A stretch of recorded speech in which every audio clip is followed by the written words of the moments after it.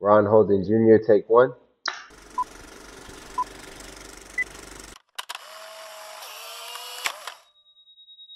All right, everyone, welcome back to another episode of Behind the Lens. Today we have a very special guest, a creative founder, everything, just a whole umbrella of different creativity, Ron Holden Jr.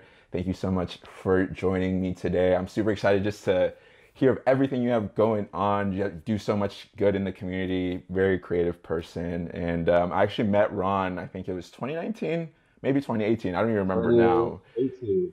Yeah, yeah, yeah. And he was um, art directing for a pop up museum here in Los Angeles that one of my friends had like some clothing in. But super glad we connected and just have stayed connected throughout the last couple of years. So I'm excited to just chop it up with you, man. So thank you for being here. Appreciate it. Thank you for having me, man. I appreciate it. You know, we're just all trying to be as cool and creative as you. So you continue to inspire us all every day. Stop, stop, I appreciate being here with you. No, no doubt. But yeah, today's all about you. So we want to, you know, dive right into it. And you know, the first question that I like to ask my guests are just tell us a little bit about your background. You know, like how you got started um, in the creative field, just where you're from, all that good stuff. My mom lived in Inglewood and Leimert. Um, my dad lived in like Pico, La Brea area. And then, um, you know, I just grew up as a sports kid. Um, I wasn't really, I didn't take like creativity pretty, I didn't take creativity seriously, to be honest, until like later on in life, which is, which is weird. But, um, so yeah, like my mom moved to Palmdale my freshman year of high school, so she moved me up to high to Palmdale, you know, and for high school I went to Highland High School. Um, and then like, you know, again, just school and sports. After school, after high school, I went to like a junior college and I was doing like this firefighting thing. I played basketball at Valley College, and then I, um, and then I went to go be an EMT as I was working as a uh, at like as like a production assistant at um at a, a creative agency called Optimus. Optimus does a lot here in LA. They've been around for years. They've got uh, offices all over the, the globe at this point now. Um, but like um, it was weird because I was set on being a firefighter. So I was working EMT, and then during you know my off days, I was working at this creative agency. Was like polar opposites to be doing. Um, but I'm so thankful for it because like without being introduced to the agency and like just being thrown into that world, I would have never picked up a camera. I would have never you know, learned how to like make, you know, apparel. I would have never learned how, like anything creative, I would have never been introduced to it. So like this, this conversation would have never happened and everything I do now would have never happened if I was never introduced. So it's been a blessing. Um, and you never know what happens. Like all it takes is one opportunity to, to change your direct to trajectory. Um, so it's been an amazing experience thus far. I'm still learning every day, obviously. I think you know we're all we're always always students, you know, as as long as we live. So, so uh, Yeah, otherwise, like, what are we really doing if we're not learning every day? But right. a couple of Exactly. things I a couple of things I want to learn more because a lot a lot of this is the first time I'm hearing this because we've only like chopped it up about creative stuff. So talk to me yeah. about first. Let's start with the sports. So were you like you, played you, you played junior college ball? Were you trying to like go D1? Was that like sort of your initial childhood dream, or like did you want to be an NBA? What was that Yeah, like? man. I mean, I feel like every kid that plays sports wanted to be in the NFL or the NBA. I love sports. I love football more than basketball growing up. Um, um, but because I moved to Palmdale in high school, like it was too hot to play football. I wasn't going to no hell week. I wasn't practicing in 100 degrees. So like I just like let it go. And I played basketball at high school. Um, pretty pretty good level. Like um, I definitely had some like D1 scholarships. Unfortunately, I wasn't the best student, so like those just slipped through, you know. So it is what it is. Um, and then like, and then some of the schools that I did have opportunities to go to, I didn't want to move to like Arizona or like uh fucking Seattle or I just didn't want to leave LA at that point. I was really boxed in, like I was in a box and like not like willing to explore, which you know I encourage every child to always explore, go away from home, like go to college somewhere different, go travel as much as you can when you have the opportunity, um, because that those experiences help you expand as an individual, as a human, and it helps your mind grow too, because you're now going to be introducing yourself to things that you would have never seen or ran into, which um, which experience in itself is the best teacher. Um, but yeah, so like whatever, I just didn't do it. Kind of gave up on sport. Uh, then I went to Valley College because they were one of the only community colleges that offered uh, a firefighting degree, like fire science. So I was like, okay, like I'll go there because I just do the firefighting thing and then like call it a day. Um, and then when I got there, um, like my uncle or something knew like some of the basketball coaches there, and he was like, "Yo, you have to go play basketball." So just go. I already told them. So I was like, "All right, whatever." I go. I play two years there, um, and then after that, like I just jumped into um, again, like I kind of was like over it, over sports after high school, and I was just doing it to do it, so that it kept me like focused while I was at college. So, um, and then after that, you know, I just stayed athletic, but like just focused on work, um, and um, and like the EMT firefighting thing. And uh, so sports was huge, man. Sports, I lived and breathed sports. I love sports. Um, I think sports are like such an instrumental part of like growth for for for kids because you know it's the idea of like you know working with others working with a team, not being the only one, depending on other people as well, but also knowing that people are depending on you. Um, and like getting to like experience like so many different people from so many different walks of life. So, um, you know, it's it was uh, it's definitely what's created who I am now because of like that uh, willingness to compete and um, and like just be better every time, um, which is something you had to do if you know playing sports at any level. So. Um, yeah, man, sports are tight. Now I'm riding bikes. Yeah, of course. And we'll definitely get into to the whole bike riding here in a little bit. But talk to me about um, your first experience with with a camera. So I know your main focus isn't photography, but you do do photography. You have done photography. You're a really good photographer. Done amazing projects. So walk me through you know just that experience of working in an agency and then like what what was like the moment where it's like you picked up a camera and you're like oh like this could be something that i want to get into Yeah, well, that's interesting. Where um, I feel like I bought my first camera in like 2011, and I'd never, besides like a you know one of those little like Polaroid cameras, disposable cameras, I never touched a camera before then. So like the first two weeks, I couldn't understand why my photo was black and it was daylight because I didn't know how to do my settings. So like it was just like weird. So like it was a weird thing, and it took me like a year to like kind of understand how the camera worked, right? And I remember it was a Canon T2i. I'm sure a lot of people have started on that camera, um, but like again, like me being introduced to Optimus and under, and like me working closely on like all the Nike projects, my eyes just started to like open up and like my like subconscious just started to absorb like all the creative opportunities that like I would never I was never really exposed to or um or like even knew of, right? So like um so like it kind of like really just like lit a fire in me to like want to tap into the creative side of my brain, which was again like it's just a blessing in disguise because um like I also got to learn how to shoot and how to work in a creative space from like an award winning creative agency and also doing that work for Nike, right? So like some of my first projects were like not huge, but like, you know, a couple years in, I'm like shooting, I'm getting paid by Nike to shoot stuff, which is tight for any like that's anyone's dream, right? So it's like it was a it was definitely the universe putting me in the right space at the right time and like me kind of being prepared as well, you know. Um so it's uh it's a blessing. You never know what you're gonna walk into, but I definitely because like I even went to after I picked up the camera and like started getting like really small gigs. I went to Art Institute to get like a bachelor's in uh, digital photography.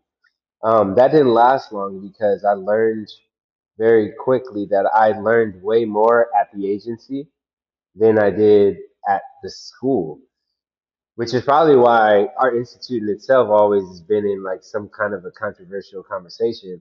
Because like I remember my second year there, my lighting teacher, she that was the worst class experience ever. But and I, there's so many stories to say about this. Wait, break it down. Break it. I want to hear about this this class though. But I'm gonna just give you one. I'm gonna give you two yeah. actually. All two. go for it. Go for it. One one day she takes us outside. She's like, "Yo, we're gonna work on, you know, shooting outside with flash. Cool, like a like a hot shoe flash. All right, cool, let's do it."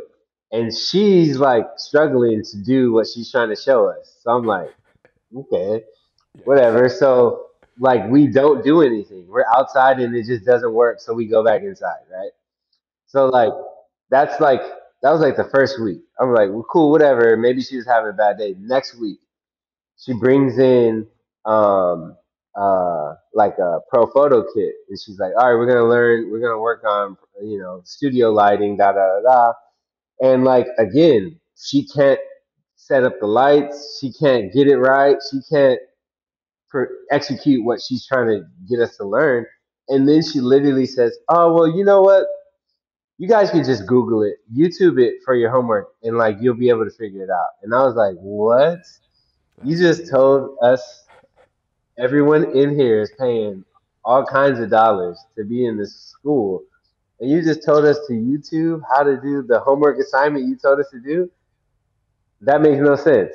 So at that point, I was just like, yo, I'm out of here. Like, I'm just gonna be at this at the agency more, and I'm just gonna, you know, observe absorb there. We have the same, you know, we have all the same equipment, and I have people that are there that are willing to show me and guide me, like that have done amazing work already. So why pay all this money now? I'm in, now I'm paying off student loans for a class where the lighting teacher couldn't show me how to set up some lights. That's that's a struggle, man. That would yeah, I would be so upset and so pissed. Like it's like, what is the point of all this? And that's interesting too, because I, I get a lot of people like that reach out to me. And it's like, oh, is like film school worth it or whatever, like photography type of education. It's like, I don't know. It's like for me, it's really hard to like uh, promote or like be like, yeah, go to film school because I didn't go to film school. Like I majored in economics. I literally bought a camera in like 2015, 2016 learned everything on YouTube and learned by doing. And I think that's like one of the biggest things because with like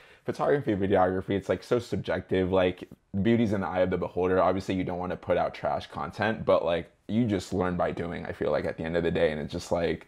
Um, yeah, it's just like you, you have to do it and, and get practice in. Otherwise, you're really not gonna learn just by like sitting there and like taking in theory. I feel like, but that's just my perspective. I don't know. Everyone's a little yeah, bit, um, everyone's a little bit different. no, I feel you because I went to art school, and like not to say that it's like one of the most prestigious art schools, but either way, like you just never know what you're gonna take away from school, right? Um, because it, there's so many variables in that, especially when the creative field. Because like you think of like some of the classes of like you know introduction to digital photography. So like it talked about like the basics of the camera and how to work it. You know your stops, like you know, like the basics, what ISO means as opposed to shutter speed and how it differentiates like the light that you get, right? Like those little technical things, which are good for someone to show you, but you can still learn on YouTube, right? But like outside of that, I didn't really learn anything else. Like, you know, like my favorite class was art theory. So like, you know, that's one class of two years of school that I actually enjoyed. Um, and like uh, actually business of photography was a good class. But again you can nowadays just youtube that. We're just understanding how the business works um which is you know key. Um but like yeah a lot of people ask me sometimes too like you know what, what should i do? That and like my thing is like you just got to go take photos.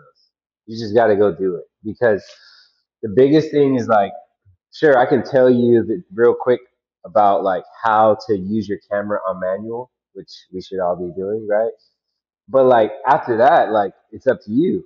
Like like it's the same thing as like a painter. Like a painter would go to art school and you know they learn you know theory and they learn the technique, but like after that is when you as an artist come out.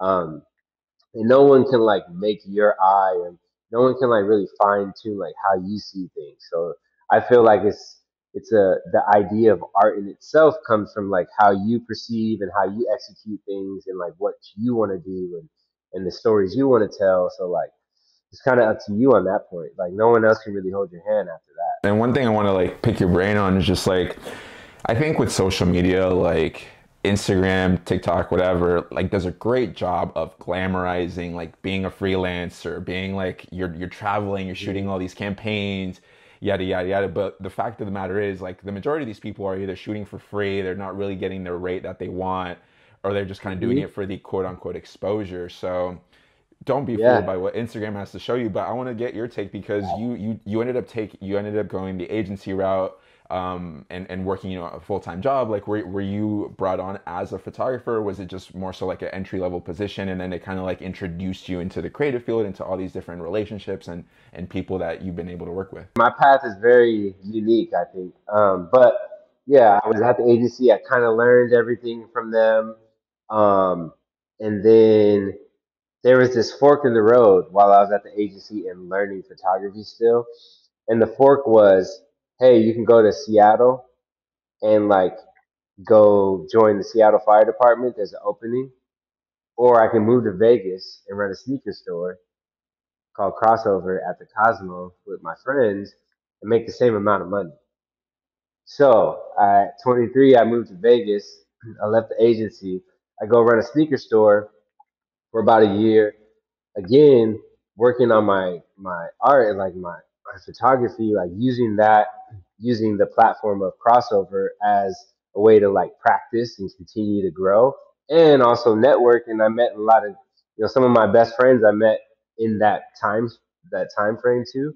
Um, and then I came, then I left Vegas because Vegas is crazy. Like you don't need to spend more than a weekend out there, and I spent a year. So, um, so I moved back to LA, and when I come back to LA, the the agency was like, "Yo, like you can jump back in wherever you want," and they're like, "We have a lot of shoots coming up, and like we could probably use you to shoot a lot more." And at that point, I kind of just went, um, I went more freelance. So like essentially like I had such a great relationship with the agency, both because my work ethic and you know the time I put in there, but also I worked on my craft outside of them, and they realized that and they trusted me. Um, so it worked out to my benefit to where like I didn't have to work the agency hours anymore. I didn't have to be on the production for 20 hours in a day. Like at this point now, I could just come and shoot the event or shoot the project or da da da da da, and then go home and edit. And um, when you start to calculate the dollar and time spent, it starts to make a lot more sense, right?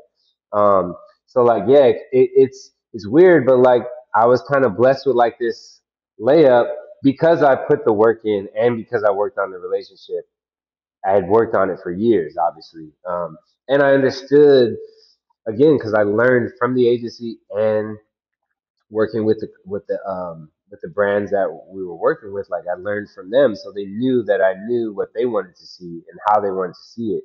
Um, and um, and again, like I don't know, it's just perfect, man. Like I, if you would have asked me when I was 20 if I would be doing any of that, I would have said no because I was like, I don't even know how to use a camera, so I don't know what you're talking about. the creative industry is just so like you, you mentioned like you feel like you have a unique path but i think i feel like a lot of people do you know? There's really no linear trajectory. Like people started out in finance who are now like renowned photographers whatever. So every every yeah i think like for anyone watching this like it's a good reminder to be like just because you're doing something right now you want to be a photographer creative like doesn't mean you can't do it. Um, something i wanted to learn about you is because it seems like you know you you had the the preparation and the opportunity that presented itself where you were able to take advantage of that so i think that just comes from like a, a instilled work ethic that I'm sure you learned at a very young age, where you're just like, I'm just going to keep grinding and doing what I have to do. Um, so, like, what advice would you have for anyone who's watching who might be like in the middle of nowhere, Nebraska, who feels like they need to be out in one of these big cities and that's the only way they can make it? But, like, what is something, some action items that you feel like they can do right now that can help prepare them for when an opportunity presents itself, whatever it might be? That's an interesting question because, like, like you said, and not not every no two paths are gonna be alike ever, right? Um, and like, yes, like you said, social would get, sell you on a lot, and like if you are somewhere in the middle of nowhere, you feel like you're in the middle of nowhere, and you're seeing every everything you want to do is you see it like somewhere else, like nowhere close to you. There is something to be said about that, and there is something to be said about being close to the energy and like you know that's why people move to LA or New York or you know whatever Chicago to like be in those industries or be closer. But the idea that like you you know we saw this past year actually like this past year shrunk our world a lot. So like at this point it don't matter if you're in if, if you're in Indiana and you're doing good work and you're doing a good job at like putting your work out there and um, being a good human being when you like work with people like that inevitably will um, work itself out. I feel like i feel like to be honest like the biggest thing is like obviously doing really good work. So you can do that from, from wherever you are.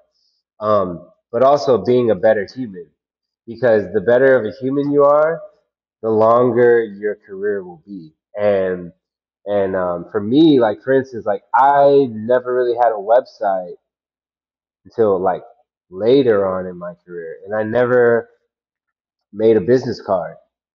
Like I still don't have a business card ever, and like and like I didn't like cold call people. I didn't cold email brands or people. Like every single job that I pretty much ever got was because it was referral and I hope that's because my work was good and because I was a good person to the people that I worked with before. And like you never know, like you might shoot something for someone in Wyoming and that person moves somewhere else and does whatever and now they're like, "Yo, we got to use him."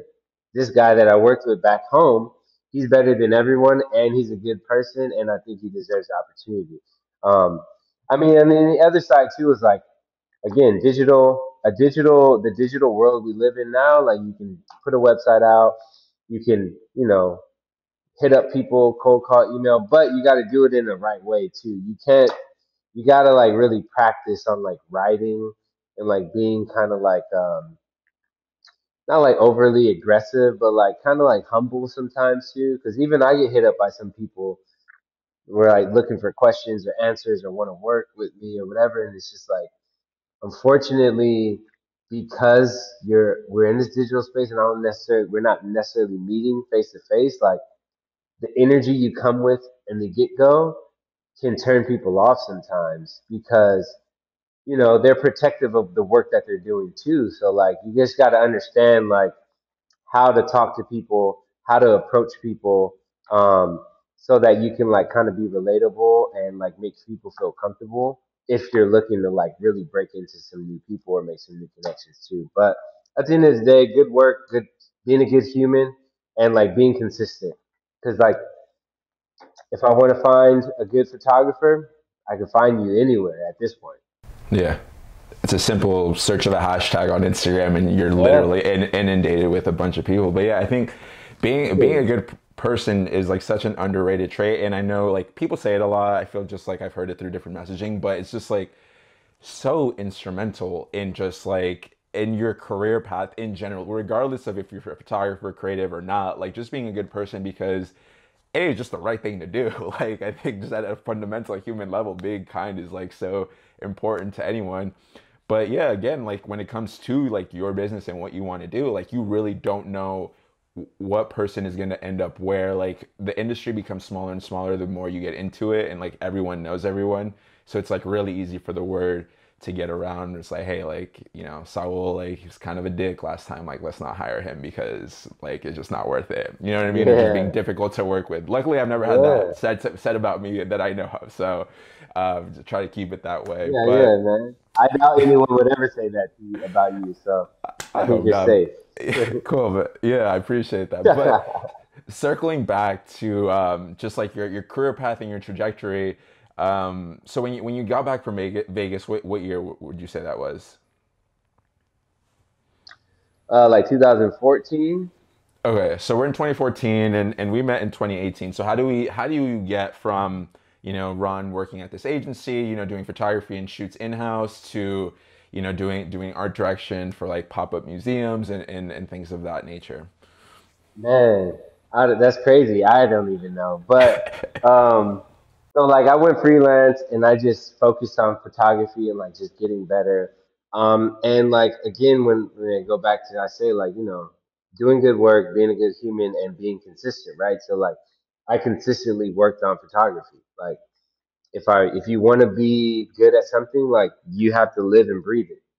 Um, especially when no one knows you. So like in my case too, like I wasn't like a lot of the stuff I was doing, sometimes I wouldn't even be able to, you know, show or like post or anything. So like a good like at least half of the work I've ever done in my life, I've never been able to show sometimes.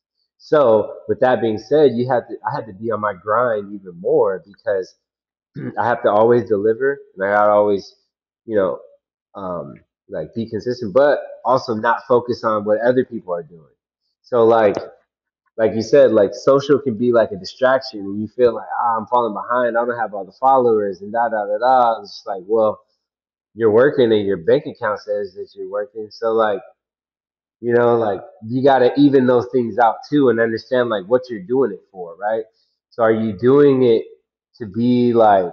And my thing is like, I was doing it because I fell in love with it, and I enjoyed my life. Like my live, my work life balance was tight because like I could work when I want to I could not that I was rich, but like I could pay my bills and eat and you know survive and you know do all the all the things that I wanted to do um, by using my creativity, right? So that's a you know that's a blessing. Um, so like I just focused on like getting better every day, investing back into my equipment or myself or my like education, like you know just with time, like you said, like spending hours on YouTube learning like new tips or new tricks or like how to like edit this or like you know anytime i ran into a question i'd just dive into youtube for five hours to like figure it out right? Um and and that's just that work ethic where like it kind of helped me keep going. I got again and then i started getting introduced to a couple more people so like my guy brandon and matt who used to be at finish line and they kind of like were vamping like ramping up like content and social for finish line at that moment. Um and like to be honest it was a blessing because like i kind of turned into like the la photographer for finish line social which helped the energy. I got to meet more people. I got to practice more. Um and then again still doing nike stuff and you know all the way back to like you know i've shot it's crazy because i've shot like you know stuff with like you know, events or like campaign stuff for like Fuel Band, Nike Fuel Band, like Nike basketball, Nike running. Um, I've been able to shoot with like, you know, KD, Russell, Kobe, um, like all kinds of people, right? And um, so like I just kept rolling with the flow and like being consistent, showing up, putting in good work, being a good person, and like actually like loving what I'm doing, but also keeping it the focus.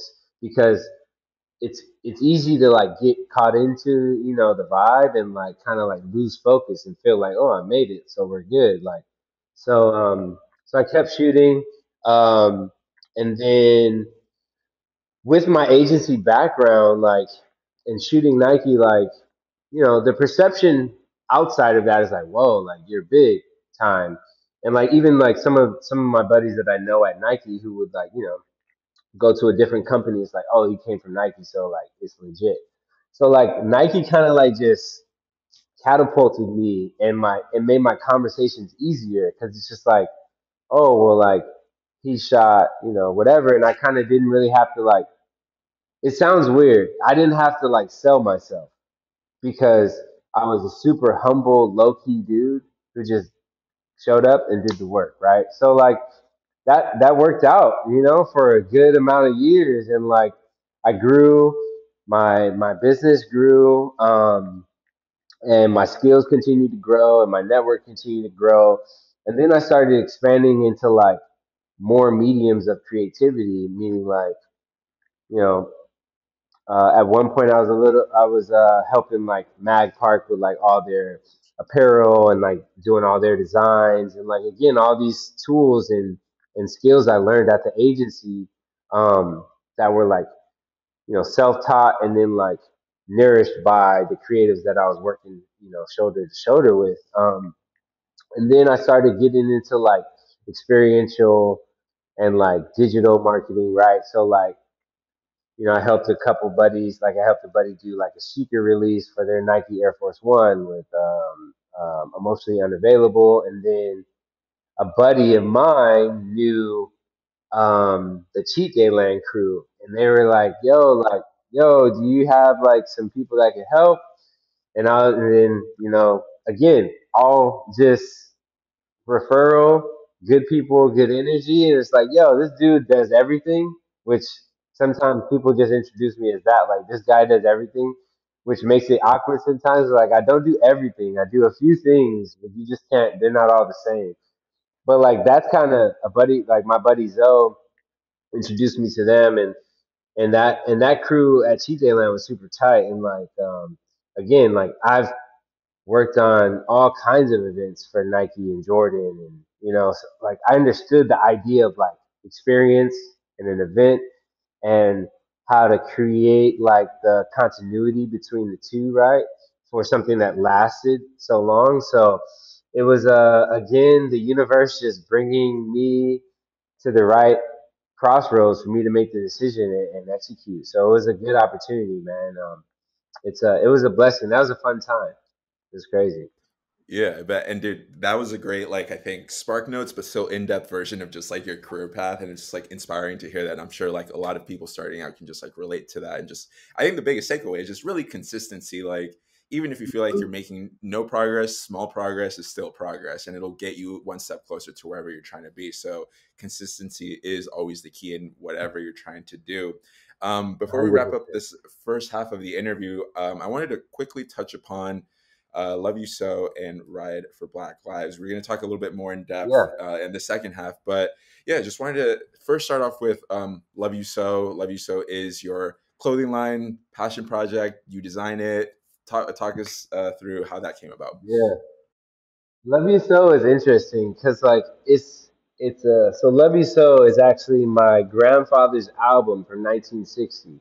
So he released the album in 1960, and Love You So is like a pretty he's like a one hit wonder vibe. So like the song was did well that year for a little while, and like but the gesture of Love You So in itself meant a lot for our family, right?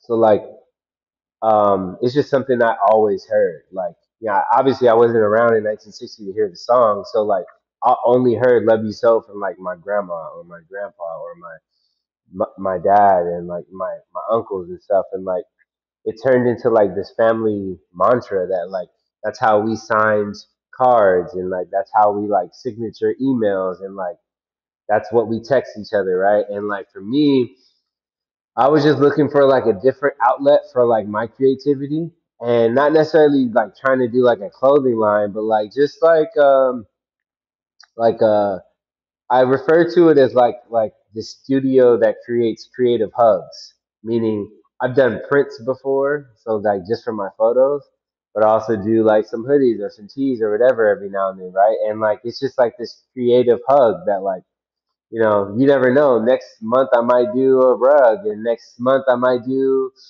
um, a coffee mug or whatever, right? So it's like this, it's like this just this free creative experience that I get to like do whatever I want, and hopefully um, people you know respond to it well. But most importantly, it's more about spreading like positive messages. Um, with whatever medium I use, right? So like fashion is tight, streetwear is tight. Obviously, I've been around it for so long with like what I've been doing. Um, but I feel like there's been a space, um, there's been a lane of like positive, like purposeful, positive messaging within streetwear and fashion, and like that's kind of like what Love You So is. It's, it exudes like you know just a creative but um, positive and loving lifestyle.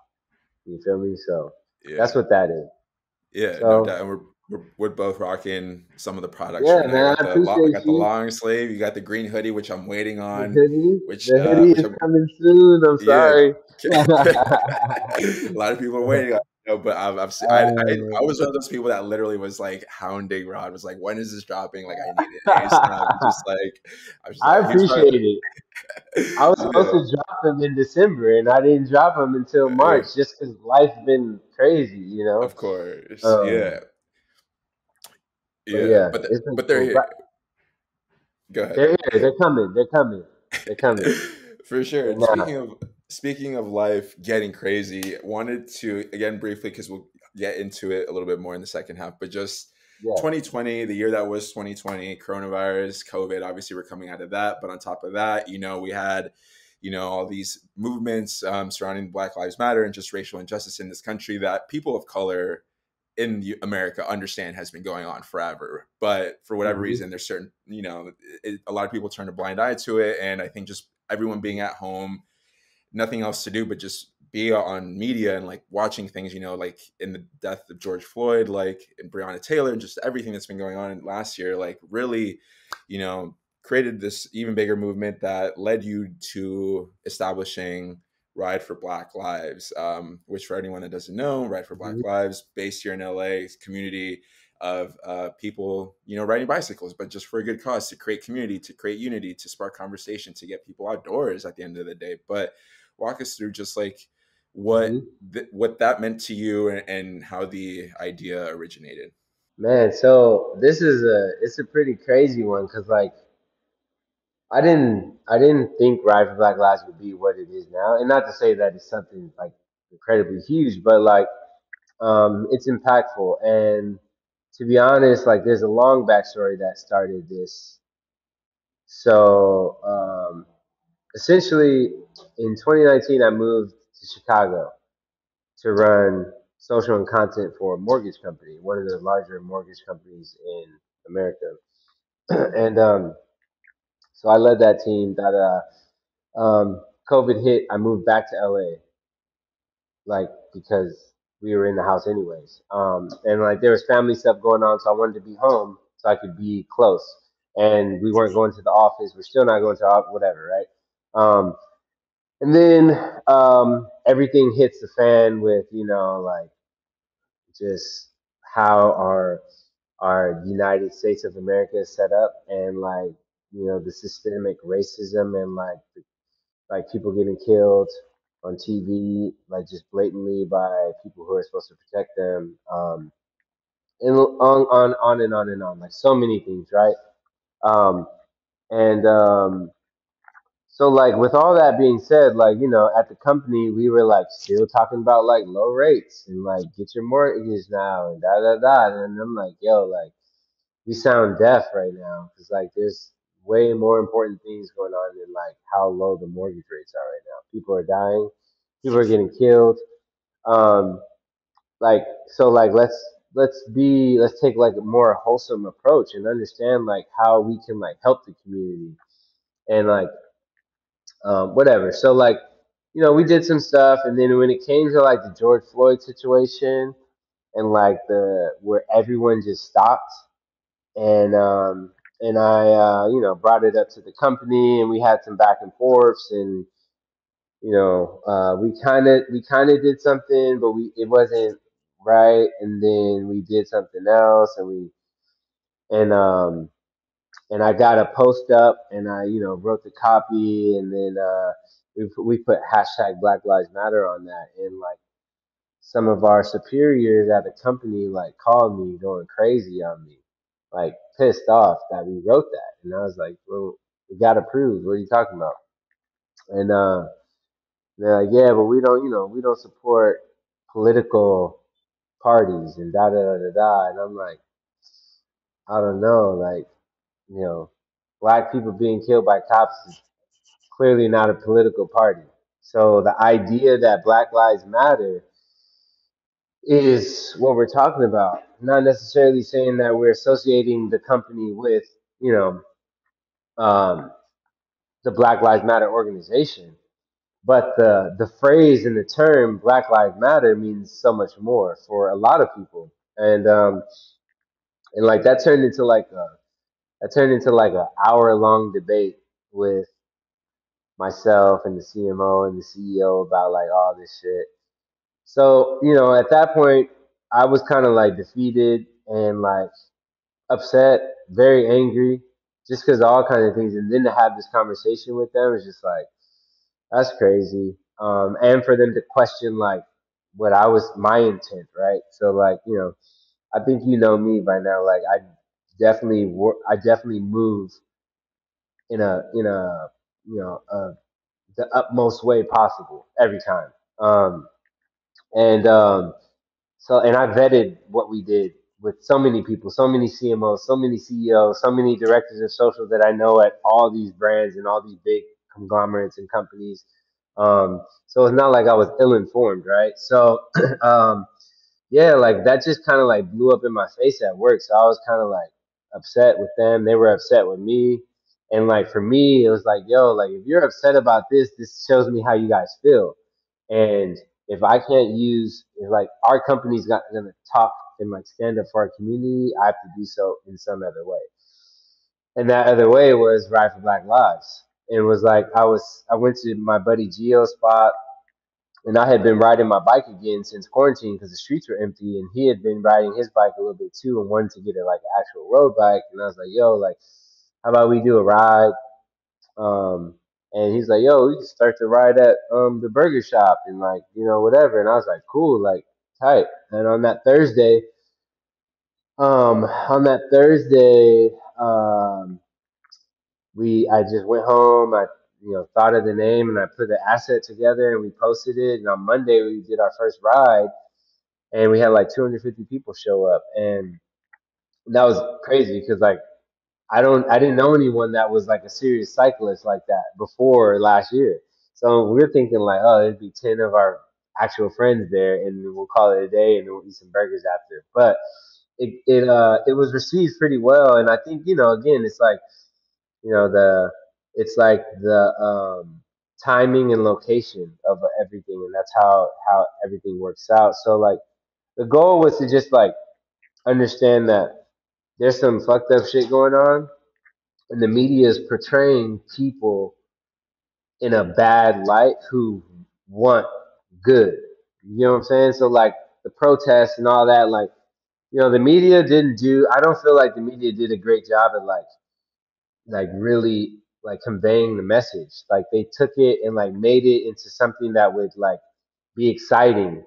And like this shit is not exciting, you know? Like so like our thing was just like, yo, like we want to do like this peaceful situation to where like no media outlet, no one else ever can ever say anything bad about us. And we want this to be a safe place for people to like lift their voice or like be a part of the movement um, and also for us to continue the message in a positive way through the streets of LA. Um, and um, and like you know, with COVID in mind, like the bike kind of gives everyone a separate, you know, like some space because you have to have space in between each other. But also is working on your fitness, like your physical health, right? So like the idea of like you becoming more physically fit helps you against COVID as well, too, right? So like your respiratory system, if it's not as strong, you can work on that while you're riding your bike.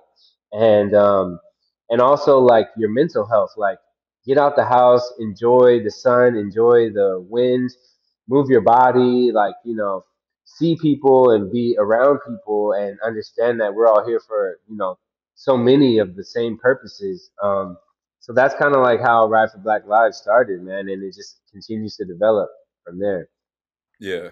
No, it's a beautiful thing, and I always see your story like on Instagram. Even when you don't have an organized ride, you're always out on the street. Like you're going out for two hour bike rides around LA, like 50 miles. I'm like, damn, like this guy riding 50 Yeah, miles. That's insane. But no, it's it's a beautiful thing, and just spreading, you know, the message and, and getting your point across, and, and just in a in a healthy and peaceful way, as you mentioned, like and getting people outdoors is I think key, and just working on their their mind and body and spirit. You know, um, but yeah, thank you man.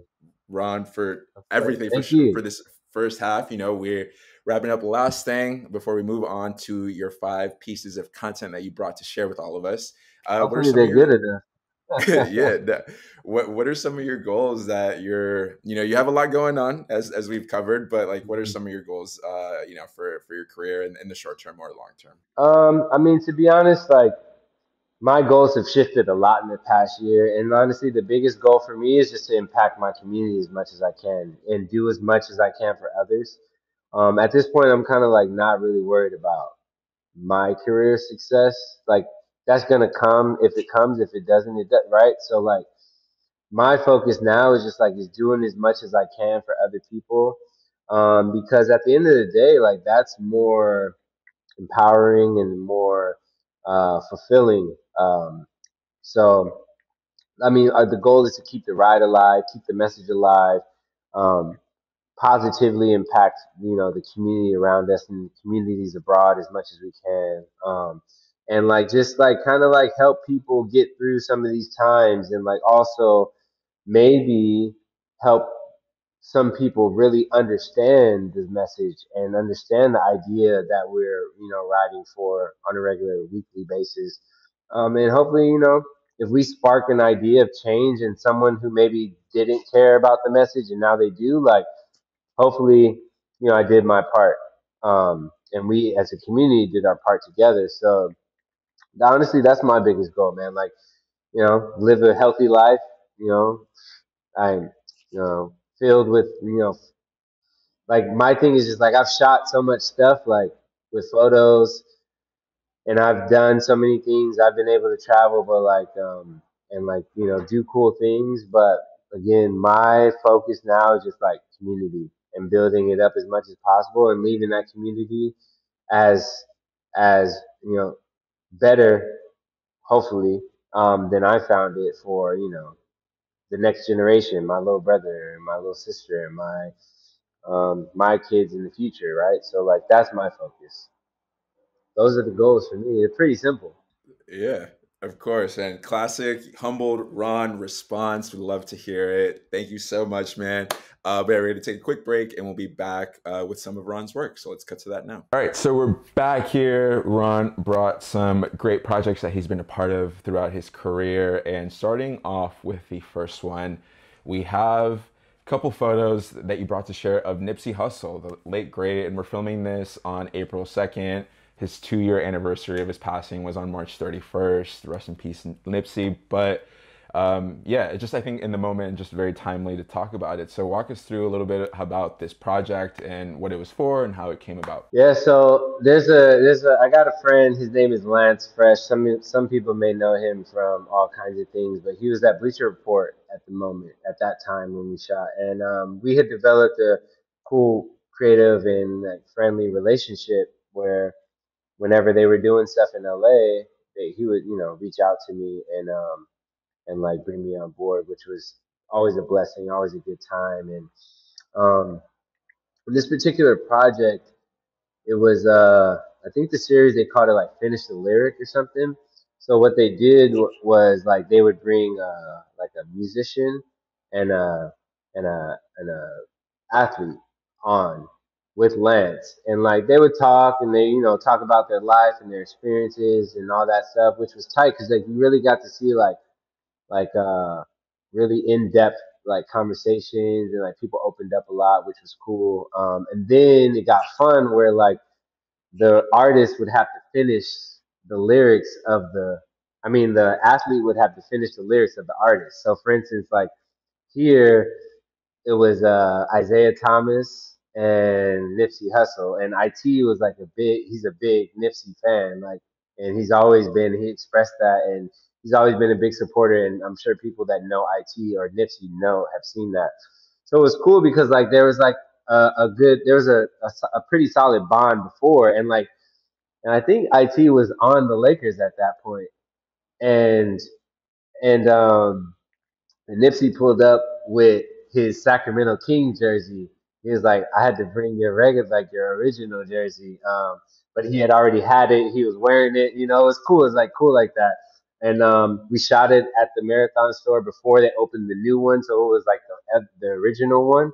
Um, and um, it was a good vibe, man. Like it was just you know good people, good conversation. The project was super tight. Um, but it's just like for me, like this is why I I guess like photography because like you never know what you're gonna capture, right? And like I think one of the photos I showed you was um IT and Nipsey. I think it's Adam outside the the outside the marathon.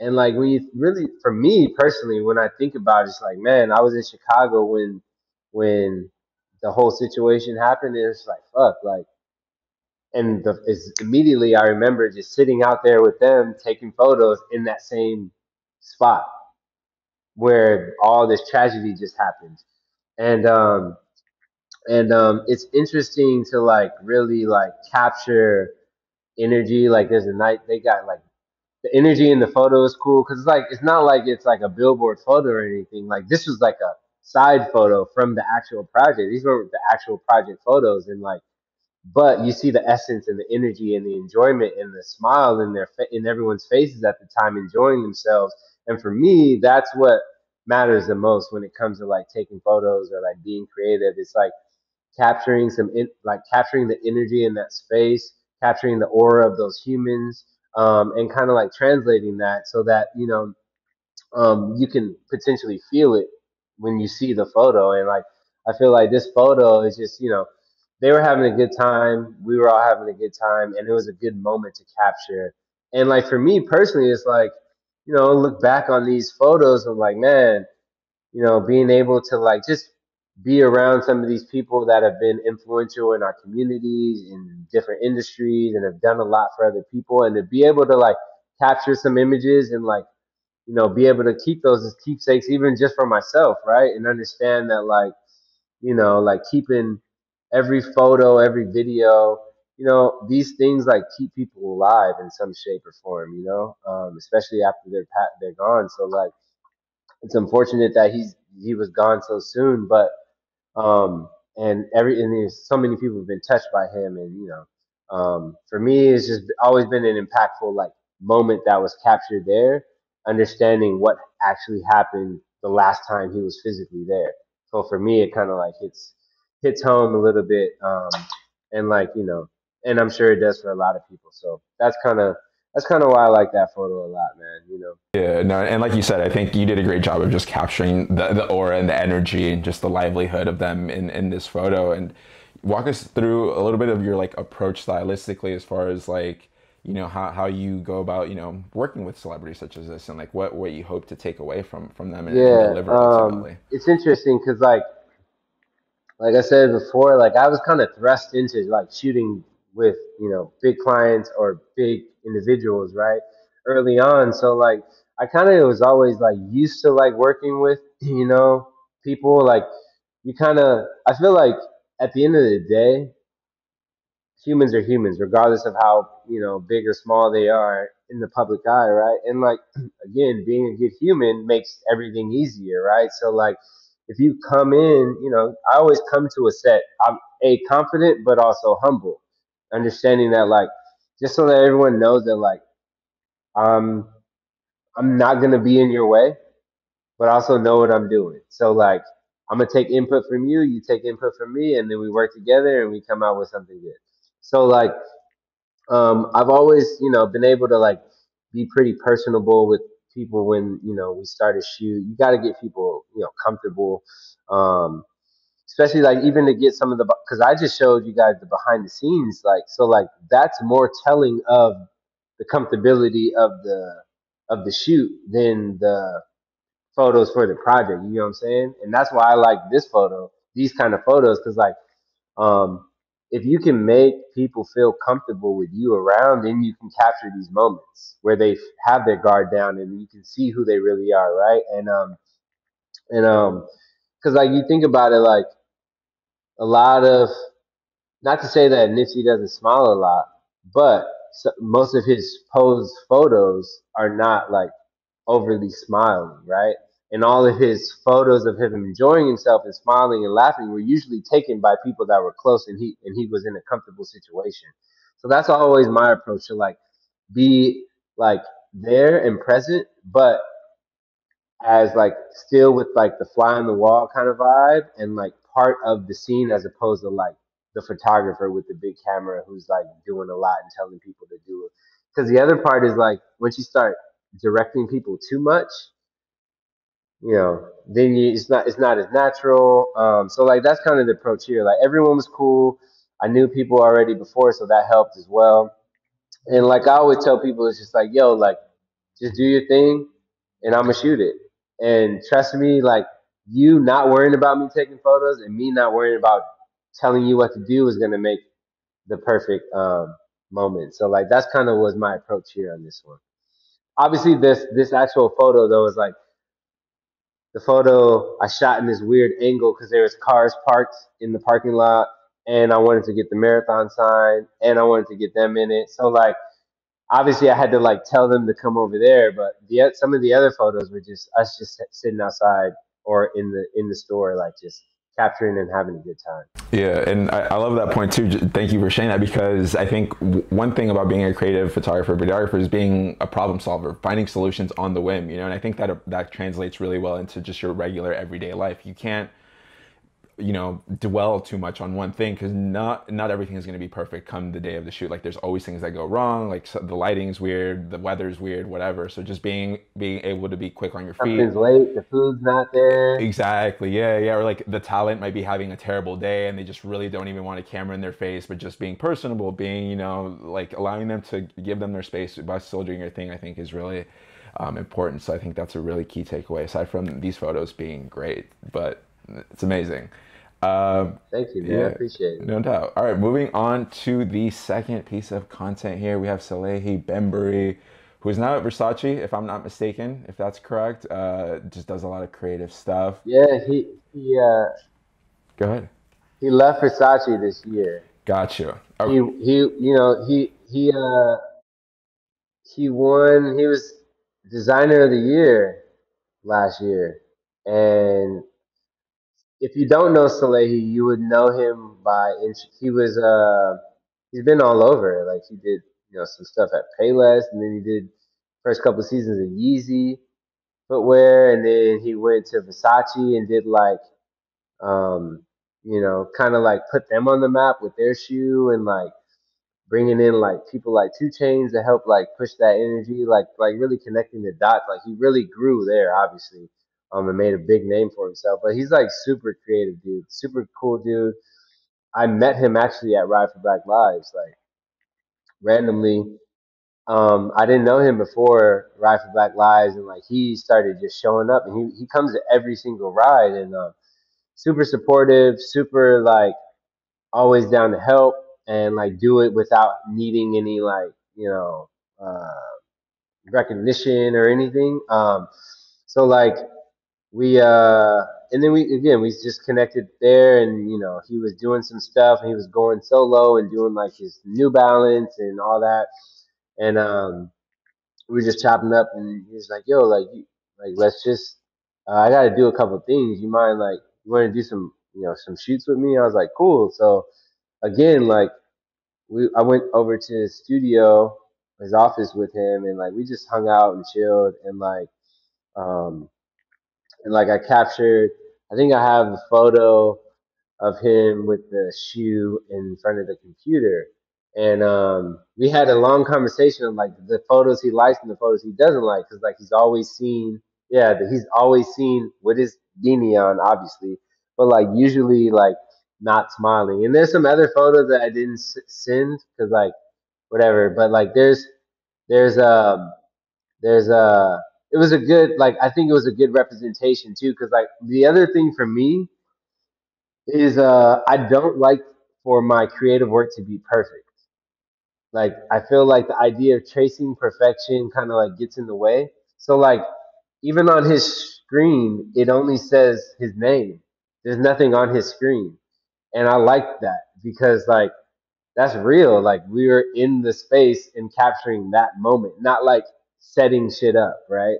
And like I love I love all of my work to be as organic and like true to the time that I captured it as possible.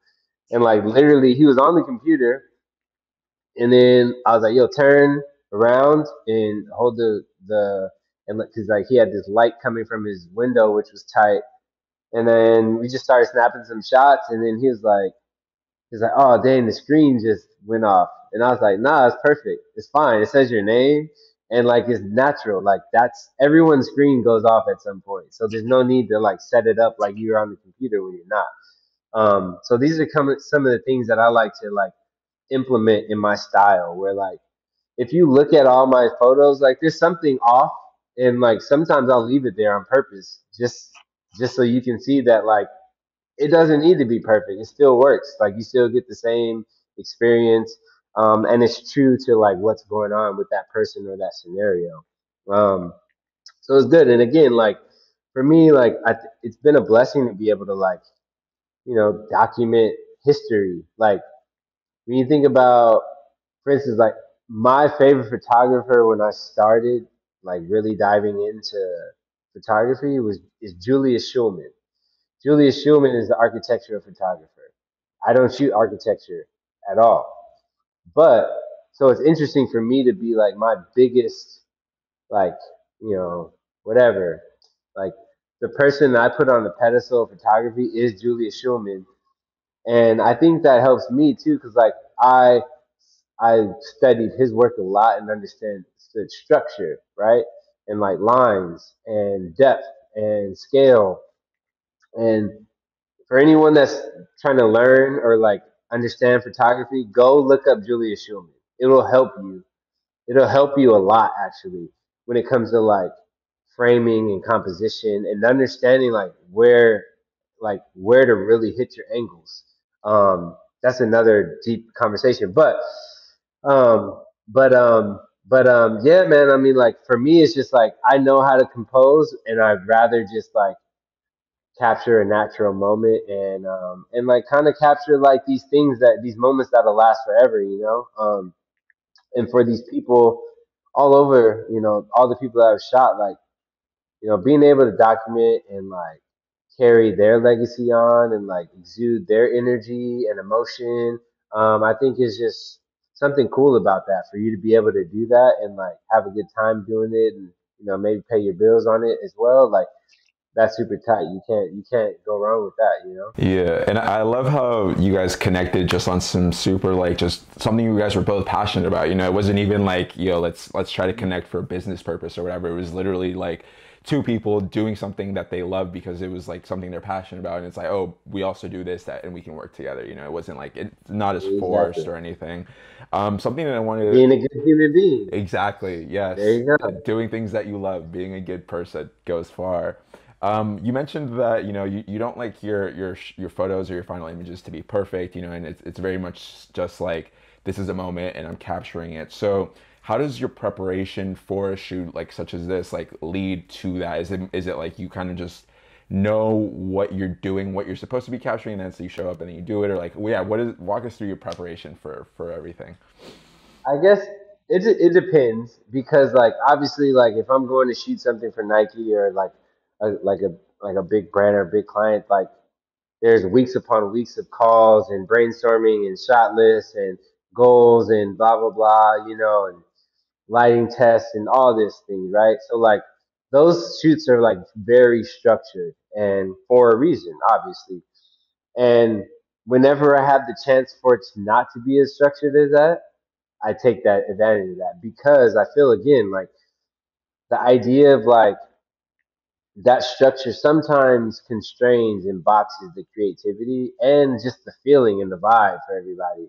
Um, so like when I'm doing like smaller shoots that like I and like maybe one other person has full creative control, like I like to like set set the table with everyone, be like, yo, like just don't worry about it. Like don't stress over it. Don't stress me out because I also still want to have fun doing this because I've done enough like work work with photography to like where sometimes I felt like photography wasn't fun anymore. So like when I started to like feel like that, I uh, definitely put my foot down sometimes and just like you know just tell people not to overthink things and like let us just flow. So like for him, it wasn't like it was anything crazy. It was just like you know we needed some photos that kind of like they're photos of him, but they allude to what's to come. So the New Balance, and like you'll see on his death, there's um, some other elements that like made sense, which were kind of already there. Um, but like it was like this idea of like, cool, let me come to the office and I'll just see what it looks like for the first time, and then I'll know what I need to capture. Like, there's no need to like put a storyboard together, a mood board, some shit. Like, you know, because like whatever you put on a mood board was done and shot in some other place that you're not even going to be in. So it's kind of defeats the purpose because you, because like the idea, you know, like your expectations sometimes will be your disappointments. So like that's that's also true in creativity. Um, and you got to be willing to like flow and adjust and you know and and be nimble. Um, and that's the beauty of creativity because like you know you can do you can solve a problem all the time with your mind um, and your tools by like just showing up and like being ready to go. So like that's kind of that's those that was the approach on this one to be honest. It was just like yo like i just wanted a couple photos of me and i want the stuff that i'm working on in the next couple months to be in it. Boom there you go. Well all your accolades are on the wall. This is where you spend 95% of your time at your desk working on shit. And, um, and like, let's use this nice little light to like kind of just like highlight your face a little bit. And that's, I mean, like, that's a faux pas in itself. Like, like the light on his face isn't the same as the light everywhere else. But I liked it because it was more about him, right? And everything else is like a little darker, but you're looking at him. So like, and that was the focus. So I think those kind of like natural like contrast and those natural imperfections, like you know, are super tight for my style at least. You know. Yeah, fully agreed. No, and and I mean, it goes without saying. Like, look at the photo. It's it's great. So yeah, I kill this for sure. I have to ask. I have to ask because I know someone in the comments is going to be like, "What kind of camera does he use?" But I personally don't subscribe to like you need to shoot on a certain camera. But walk us through your setup. You know, what are you shooting on usually? Man, I hate that question. Yeah, same. All right, I have a, I have a, I have a, I get it, like you know, but whatever. I have a 5D Mark III that I've had since 2014. Sick. And that's it. That's all you need to know. Moving on. all right, moving right along to the third piece of content. Uh, we have Bubba and the Migos, the NASCAR race. Oh yeah. Walk us through Yeah, the. this is tight. yeah, I, I love it, man. There's so much energy in these photos, and it's just like the Migos at a NASCAR race, or just like rapping NASCAR, two things you really think of going hand in hand. So just tell us how this came about. Yeah, man. Well, like um, again, I was referred by a good friend to another friend that like, hey, we need a photographer. We're trying to do something new with NASCAR. We're trying to bring some different energy to it, and we want someone that like understands how to like capture that content and that energy. Um, so boom, they hit me up. It was tight because like I love cars. Like I love automotive everything.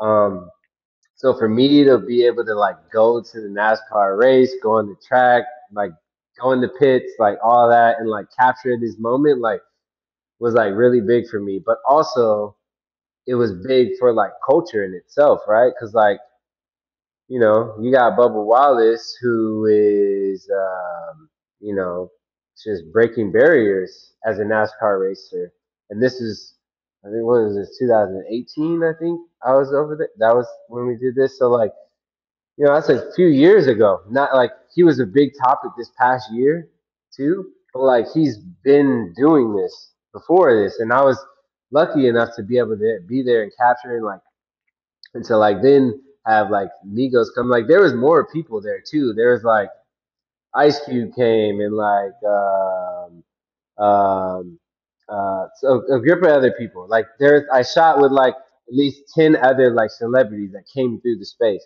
But for me, having Migos and Bubba Wallace at the beginning of a NASCAR race and like being all up in there and like just with their energy and everyone, like kind of just like embracing the moment of like, yo, like this is cool. This is strides for like you know America. This is strides for sports. This is strides for you know people of color. For us to be like here on this stage, um, and um, you know me, and you know again, like I said, like it's, for me, it's tight to be able to capture like history. Like I feel like not that it's like you know it's not like a presidential inauguration, but like shooting with Migos and a black NASCAR racer at NASCAR is like a big deal. Like, never really seen it before like that. So, like, for me to be able to be there and for like a brand like NASCAR to trust me to like do some, you know, to capture the the moment, and for these guys to be comfortable with, you know, again taking photos in a space where there's a lot going on, um, was tight and like for me again like it brings together so many worlds because i love music my family's been deep in music i love cars it's all automotive racing and like to be there and capture it the energy at a nascar race is crazy um, and then like you know fast forward this past year where bubba wallace was like a big you know, talk with like what was going on at NASCAR and like now Michael Jordan has a team with Denny Hamlin and him, like again, like continuing to push the envelope, but him being in the space wasn't that big of a deal back in 2018. So like, you know, more like so this this past year brought a lot of awareness to his situation, but he's been putting in this work and like kind of paving the way for um, a, little, a more diverse look and feel for like an industry that has you know lacked in the in the department of diversity. So for me, like I think it's pretty cool to be able to have been there, captured it, and and again for this, like you know, I got I was had to be introduced to the the racers by you know the the drivers. Um, and then I would be introduced by the artists or the celebrities or the actors who came through. And he'd be like, yo, Ron's here, he's gonna take photos. And like again, I would just be like, yo, you guys just do whatever you guys want to do. I'm just gonna capture it. We'll pose, we'll stop and like take a couple like photos so that, you know, we're looking at the camera. But after that, like just do your thing because I'm just gonna capture you guys as natural as possible. You can see like they were having a great time. And like the less you get in in the way of people having a good time, the more you will get out of them. So it's just like, and like the the again, the more they get more comfortable with you, or it's like, you know, you're you're not being annoying, you're not being pushy, you're not like aggravating, you're just there with them in the moment, and you get to like see some of like you know see some of that come through the photos. So I think it was tight. I had a great time that was an amazing experience. I thought it was an amazing effort for NASCAR to like bring those worlds there too. So it was pretty cool, man. Yeah, what uh photography aside, working aside, like what was your favorite part of like the day or just like the whole experience? Man, my favorite part, I, I don't exactly remember like the conversation, but like when Migos, when the Migos and Bubba were at his car pre-race, there was like this uh there was this like commentator or announcer that was live on whatever channel that was covering the race, and like he was so excited to go talk to them, and like he like kind of knew them, and then they started talking about like you know they said something, and they were like, yeah, then you got to dab on them, and he was like, dab on them, what's that? And it was just like this like culmination of like uh uh cultures colliding and like and like learning from each other and like enjoying each other. Like people that don't know each other at all coming from different walks of life in one space to like and like all enjoying it and like doing it in in, good fun and fashion. It was super tight to like experience it and see. Like I think like I hope I hope, but I think like a lot of the people that were there that day, it like maybe opened their eyes a little bit more to like the opp- the possibilities of our communities and our backgrounds like being closer to one than they were before. You know what I'm saying? So I feel for for me that was tight to like see just you know NASCAR is a different NASCAR is a different culture. So like to see these cultures collide, for me that was the biggest thing. It's just like this is tight. Like I'm here for it and I'm capturing it all. And like it's an amazing time. It's amazing uh, point of view to see see this thing happening. Moving right along to the fourth piece of content, we have some of your ecom photos for your line love you so we talked a little bit about it in the first in the first half but yeah man just walk us through like what you hope to accomplish through through your line and, and what you want to what you want to do with it moving forward Is if I can, you know, again, like I think it's for me the goal is just like a, it's like kind of like a creative hug that I want to create every time. So like when you receive a piece, when you buy a piece, when you see a piece, like it's like nice, like it's a nice warm, you know, feeling that you get, and also like and also like I also want to show people that like you can you know execute your passion and it doesn't need to be like an overproduced situation. You know what i'm saying? Like i do minimal work on this for a reason because like a i don't need to like i don't want to like you know like act like this is a huge brand like it's not fair god it's not Givenchy. This is like this is just me making some stuff every now and then, right? And like I think there's I think there's power in that message too, because I want other people to be able to see like like yo, you if you want to make something and put it out there, you can like, and you can do it all within your boundaries and all within your resources and access, you know, and um. And that's kind of like the story of the brand, where like it's just this super organic. It flows how it how and whenever if it, can or will. Um, I don't go by seasons. I just go by uh, you know pieces and inspiration. So like I remember before I did, I went to Japan maybe a few years ago, and um and um and I was so inspired because it was my first time being there, and like so I went to Tokyo. It was super tight. I had a great time. Um, I love it. I can't wait to go back one day and I snapped a couple photos and like I did like a Tokyo hoodie from my experience there. So I, like I captured a photo, I printed on the hoodie, I like um you know made it you know make sense for like that vibe and like it's again like I just make pieces when I get inspired. And like this piece was inspired by like everything that's been going on this past year and a half where like there's just so much fucking fighting and like hurt and anguish and hate and all this shit. And like to be honest, like for me, the message is you know pretty simple. Like I want, I just want every human being to be loved, happy, and free. And when you really think about it, it it's it's crazy because like what is what is any confrontation fighting for? Usually, it's either for freedom um, or for something that they want for themselves to be happy, right? Um, or like you know maybe they don't feel loved and like someone hates them so now that you know this this like the situation where like if everyone felt loved happy and free like maybe our world would be like a little bit better um and like those three things are free. Like they don't cost money. Everyone should be free. Everyone needs love.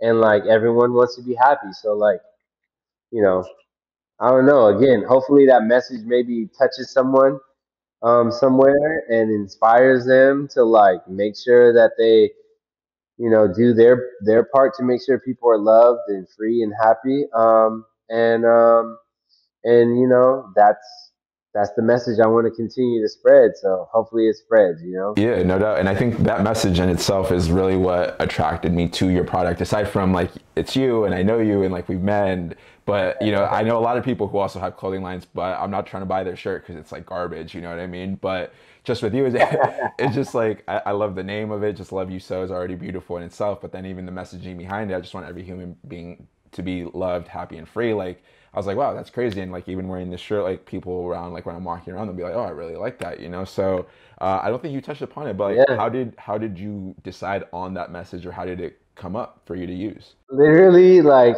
one night, I thought of like I was just I, I as a creative, you know, sometimes things just hit you in the face, and like and like I was like sometimes I'll just write in my notebook just random things, and like I feel like I was on the computer and the TV was on and like things were going on and I was like, and like in my, I just said it to myself like, everyone should just be loved, happy, and free, and like everybody will be fine. And then I wrote it down a couple times. I'm like, damn, that's a pretty powerful message for Love You So.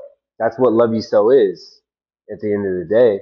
Um, so like literally, yeah, one day I just, it just, I was writing all kinds of weird stuff in the notebook and like that I wrote it like four or five times. I was like, man, that sounds powerful, especially like right now.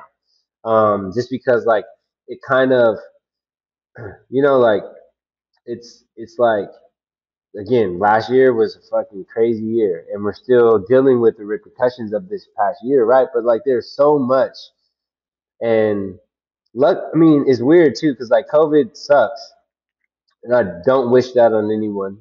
But you know, if you go back in life, so many things happen, and and the universe makes things happen how and when it's supposed to. And like, unfortunately, it took a global pandemic for our glo- uh, globally for all us to understand like there's so much bullshit going on and hate and and and you know um, terror and just like all kinds of weird things and like for me, it was like a message that kind of encapsulated everything that was going on last year.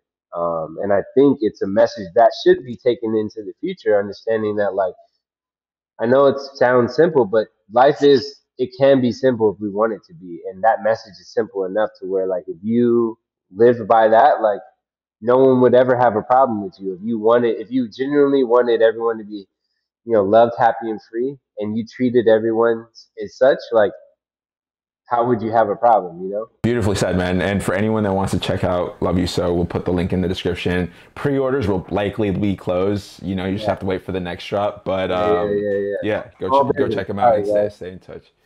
Yeah, support small business always. yeah, of course. My name is Ron Holden. I am American History.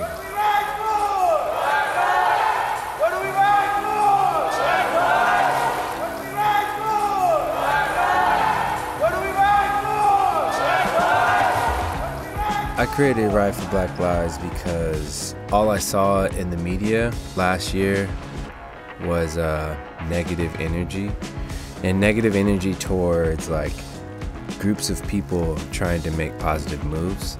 I wanted to create this space for other people to want to participate in the movement and also this safe space to continue the message in a super positive way. Our goal is to never let the conversation die. Um, and I just hope that from an outsider's point of view, we can inspire some people to keep going and keep fighting and keep moving through their life knowing that people do support them and do care about their livelihood. Some people ask like, yo, like why are we riding so long? Early on, why are we riding like so far, 25 miles and da da da, this is so tough and, like a couple people started to like bring that up a lot. I pulled them to the side and these are people i didn't know at the time. And i'm like you know i hear you like cycling is not easy but this pain that we're feeling is nothing compared to the pain that all these individuals being killed on TV are feeling at the moment, or the pain that their families are dealing with, seeing that or witnessing it or fighting to get justice for their family.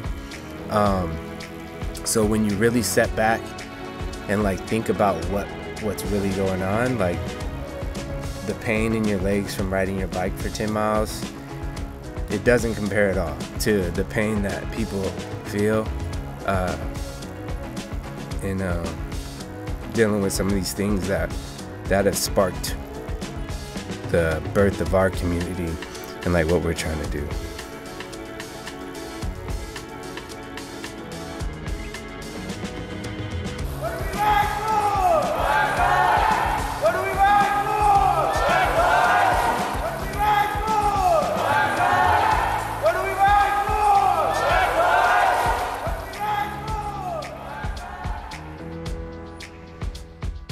This piece was super tight. Um, it was a it was a joy working with um, with um, Lululemon, Christina, who like approached me about the job uh, about the project, who's been putting in a lot of work for Lululemon here in the community.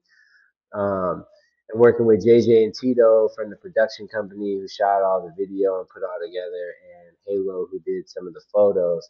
It was um and Halo like I met I met Halo on the ride. He started coming to Ride for Black Lives before this project even happened. So it was tight to like see those circles and worlds, you know, collide.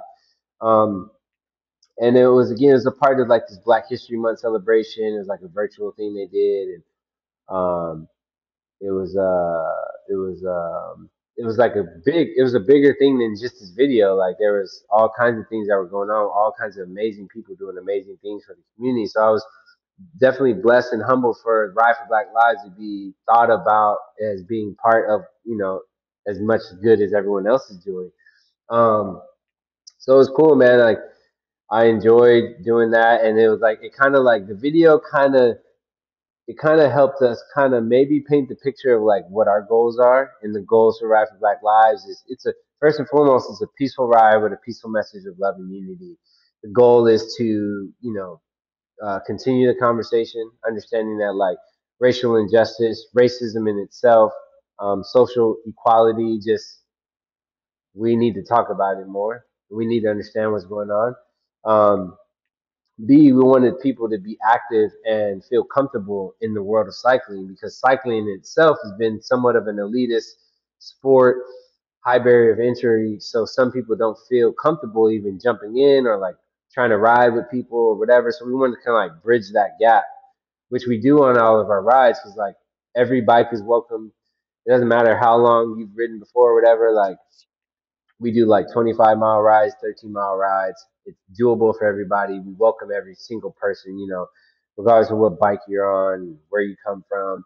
And then the biggest goal is to, you know, create habitual community participation, meaning like our goals are to like, you know, help push the youth forward in cycling, but you know, in every way possible, supporting small business of color, especially during COVID, because it's like, you know, everything's locked down. How can these businesses stay afloat? Well, our goal is to try to like bring some energy to them, bring some revenue to them, bring some awareness so that people knew where they, were.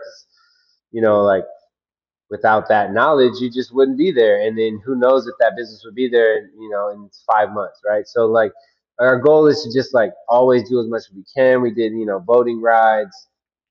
We made it made it so that people felt comfortable going to the polls and dropping off their ballots. Um, we've donated a couple bikes. Uh, we, you know, raised some money for food drives. So like our goal is to just like impact the community as much as possible in a positive way, um, and making people feel comfortable in doing so, and all with the message and in the name of the ride in itself speaks for itself. It's Ride for Black Lives. The idea that like, you know, there's a lot of change that needs to be done, happen. I mean, and um, and as a community, as we move together and support each other, like inevitably, if we do that more, the better off we are, right? Um, it's cultivated so many like friendships and like business opportunities and like just genuine connections that I've seen and like it's like pushed people into like being more healthy and more you know conscious of their your physical and mental health. Um and you know it, it i feel like it helped a lot of people get through such a tough year. Um so for all those reasons i'm super humbled and and super excited that we've been able to like do what we can physically um, for the community around us, and we hope to keep it going and hope to help, hopefully, you know, broaden our reach um, outside of Los Angeles as well. So it's been an amazing journey, super organic. Like I said, I didn't think, I didn't honestly, I didn't know what this would be. I'd never led a group ride before, uh, before this ride, and like you know, we just wanted to do something for. If we helped one person feel better about the year, or we helped spark an idea of change for someone in the community that saw us riding through, like hopefully we're doing as much as we can to like help change you know? Yeah man no doubt. And it's been inspiring me inspiring just as an onlooker and seeing everything that you've been accomplishing and just all stem from this one spark this one idea that you had originally just like oh let's see if maybe we get 10 people and it turned out the first time was like over 250 plus whatever. Crazy. Um, yeah. and, and you're, you're at at the root of it you're really you're you're starting a conversation at least you know? You're you're getting people talking um, doing it in, in a healthy way as well. And I commend you so much for, for doing that because it's it's it's a beautiful thing, man. But let the people know how you know if they want to come, if they're in LA, they want to come ride yeah, with you. If you want to come, does it happen? Uh, every like I, again, it's I'm doing so much, so like I just do it as basic yeah. as possible. So like every week I'll post the ride schedules. Um, and if you follow us, Ride for Black Lives, we usually ride every Saturday morning.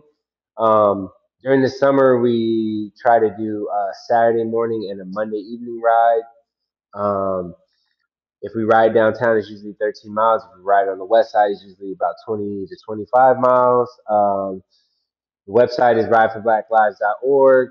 Um, you can always shoot an email over if you have any questions, but easiest way to contact is Instagram Ride for Black Lives. We post a schedule every week. We've been riding pretty much every week since June 8th of 2020. So our one year anniversary will be in June 8th, a couple months. Um, so yeah, we'll be here whenever you guys have the chance. Um, this this ride won't die, so if you don't get a bike for four months, we'll still be riding, and you can pull up in four months if you want to ride this Saturday or next Saturday, we'll be here. So epic, man, perfect. What, what bike are you riding on? What's a recommendation? man, well, I have a few. Bikes. You got you got a couple behind you. I yeah. got a few bikes. I ride two bikes in particular. All City, which is a brand out of Minneapolis. It's a steel bike. I ride the super professional. They were, they were. Uh, we were blessed enough for them to like. I was blessed enough for them to give me a bike and we were blessed enough for them to be able to support the ride this year for us doing like some bike giveaways and stuff down the road this summer. So that's tight. And then I ride this Blackheart here, um, which is a brand that was born birthed here in Santa Monica. It's it's, uh, it's a guy I know. His name is Zach. Um, so you know, it's a titanium bike. It's super tight, kind of like an all-road vibe. Um, so those are the two bikes I ride pretty much every day. They they have their different purposes. Um, so if you all, if you have any bike questions or you, you want to want some help or also reach out too. We can we can set you up and get you going in the right direction too. Perfect, man. Yeah, and I'll leave all the links for all the ride for Black Lives contact info in the description below. But yeah, dude, Ron, thank you so much for your time. We've been on this call for an hour and a half. So if you made it to to this, yeah, if if you made it to the end leave a hashtag love you so in the comments and whoever does that first i will the next time ron drops something i will personally buy it for you and send it your way if you made it this far um, hey, um, because, and i might throw something extra for you Hey, epic. Yeah, so there you go. Because this has been a very insightful conversation, a long one. So we really thank you for being here till the very end. But Ron, just surround us out here. Um, let us know, you know, uh, you already dropped uh, all the info for all your organizations, but if people want to get in contact with you directly, like how can they follow you? If they want to give you some work, what's the best way to get a hold of you? Yeah, I mean, to be honest, like I don't update my work website. The last time I updated my photos on there was 2017. So you can email me. You can go to my website, holdenfocus.com. You can go to my Instagram, Ron Holden Jr. Um, and you know, hit me up, and then you can hit me up on Love You So Studios. You can hit me up on Ride for Black Lives. Either one, I'm I'm gonna be at one of them at one point of the day. So there's you got options. Perfect. Yeah. Please, please follow Ron. He's he's a beast and just someone who will inspire your your journey as a person uh, in general. But Yeah. thank you, thank you again, Ron, uh, and we'll catch you all in the next one. Thank you. Peace. Let's go. Wow. Thank you, bro. Appreciate Appreciate you. that, man. Man, that was a lengthy one.